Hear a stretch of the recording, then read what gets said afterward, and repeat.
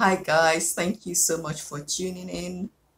Please remember to like, comment below, and subscribe.